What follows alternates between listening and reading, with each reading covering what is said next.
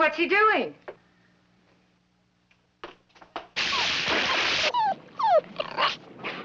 Oh, my goodness!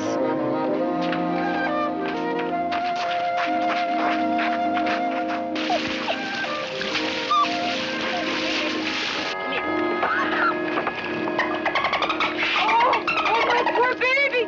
What did that beast do to you? Get him away from here at once! Flipper was just trying to play with him. Play! Why, he almost killed Fifi. Oh, he's shivering.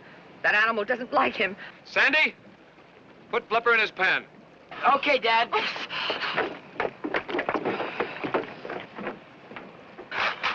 I knew the minute I saw that fish that he was dangerous. He's not a fish. Fish or whatever. I happen to know something about animals. Your Uncle Julian and I made three African safaris, and he told me that any wild animal is dangerous. Come on, Flipper. Here, boy. Porter, you, as a ranger, certainly ought to know that. Oh, they may be tamed for a while, but they can turn on you like that. But the newspapers are full of stories of so-called tame animals turning on their trainers. Look, Martha.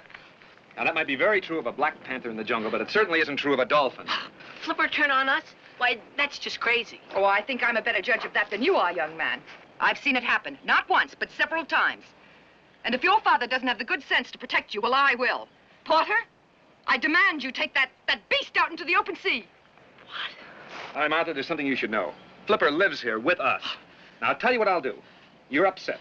I'll keep Flipper in his pen, and he won't bother you or, uh, Fifi. Fifi until you leave. And what about after I leave? What about the boys? The boys happen to be my responsibility. Well, Porter, I think I'll just have to stay here until everything is straightened out.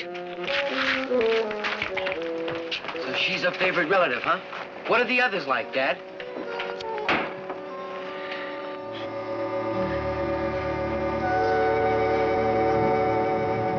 Friends are laughing at me on account of these clothes. Well, you do look kind of funny. Have you looked at yourself? Hello, boys. How's it going? Oh, Dad, are you kidding? Look at us. Uh-huh. Aunt Martha, huh? Who else? Dad, do you believe this?